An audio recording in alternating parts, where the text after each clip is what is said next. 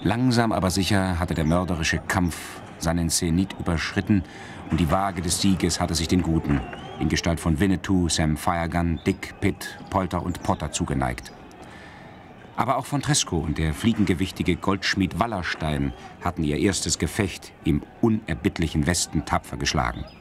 Gleich zu Beginn des Scharmützels hatten sie ihr Augenmerk auf Sander und Wolf alias Latour und Letrier geworfen. Ich nehme Latour und Sie den Diener. Ehe Sie an Verteidigung denken, müssen Sie die Schlinge um den Hals haben und besinnungslos am Boden liegen. Diese Aufforderung des Polizisten hatte sich bewährt. Nach wenigen Minuten des Kampfes waren die Angreifer Sieger.